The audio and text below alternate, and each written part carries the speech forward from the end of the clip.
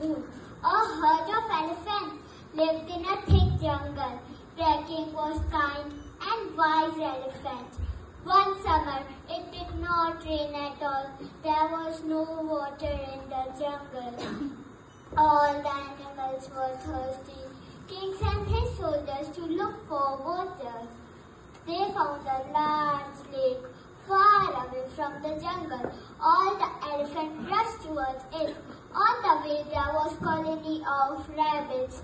In hurry the elephant did not see the rabbits. Many rabbits were hurt and killed. The rabbits king called uh, a meeting.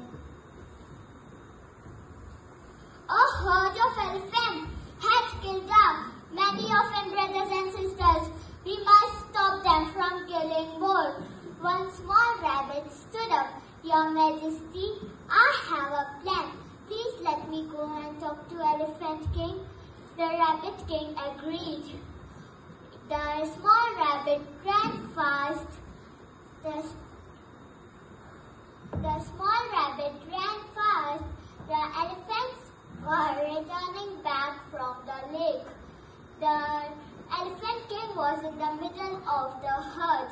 The small rabbit chooses a high rope and climbs to the top. O King of Elephants, please listen me. I am messenger. I came with a message from mighty moon. The moon has said this is my lake. No one may drink water from it. The Elephant King is very cruel. He has killed many of the rabbits. If he will kill more, I will punish them.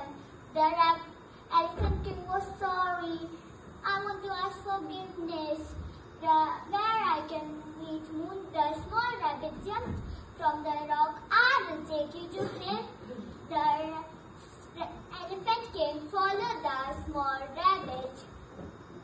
They looked in the water, reflection of the moon. The Elephant King put his drum in the water. The reflection of the moon moved.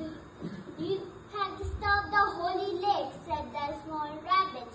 I will never drink water from this lake. My herd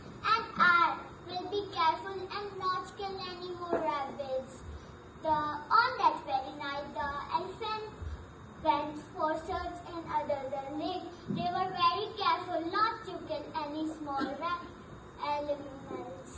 They did not want to make the woman angry. Thank you.